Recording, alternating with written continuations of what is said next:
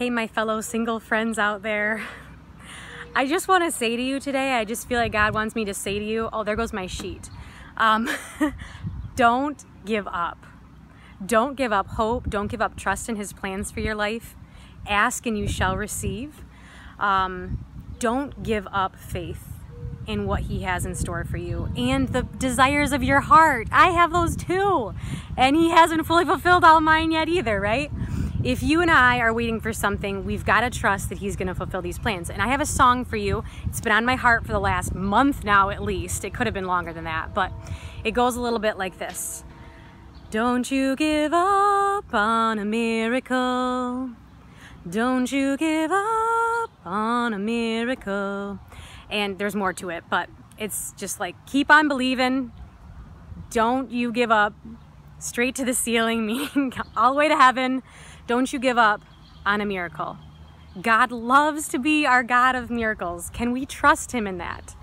Um, I, I just call all of us to ask, ask God, and to let the yearning happen. Okay, so you and I might be waiting for something like getting married someday. Where is this guy that's supposed to walk in my life? Consecrated to the Lord, you know, becoming His bride when, Lord, when shall this happen? Is it going to happen? So, what happens in the journey is that we can get jaded to the different extremes. One is the grasping extreme, where I cannot handle living anymore without my vocation. And I wake up and my day is crappy because I'm like, my vocation hasn't come and I don't see it coming and I'm sad and I'm depressed and I can't see happiness unless I'm getting to have my vocation now, like starting, you know, you starting to date someone or whatever, whatever it is.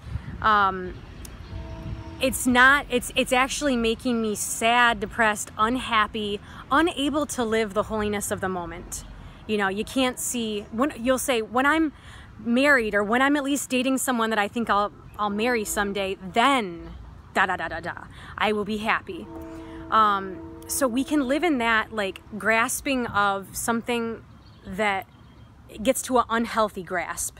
It's not like a waiting and receptivity.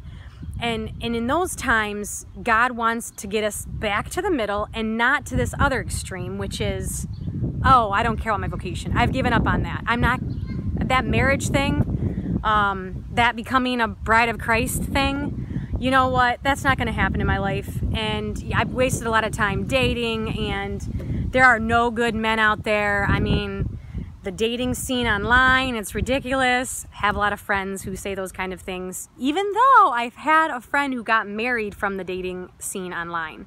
So it is possible. You can meet someone, and so don't give up. Um, but what happens is we get jaded the other way, in which we want to just squash away any yearning. I don't want to have to yearn anymore. I don't want to have to have this feeling of an, a longing that's incomplete, Lord. You have not fulfilled this longing, and I don't want to have it anymore. I don't want to even allow you to have permission for this longing to still go on in my heart. It's painful, it hurts. So I'm going to busy myself with everything. I'm going to have my schedule filled with tons of sometimes even good things all these beautiful church things I can do or just social life I can do. I'm going to live like a bachelor or bachelorette and completely not even think to prepare for a future spouse because I don't even want to be open to that anymore. I want to just shut that door. So that's the other bad extreme. We got to get back to this middle of letting our longing become a prayer and letting the God of miracles have his way with our hearts that we might have this beautiful balance of something that we long for, the spousal meaning of my body that's not complete yet, but I'm praying for it. I'm designing my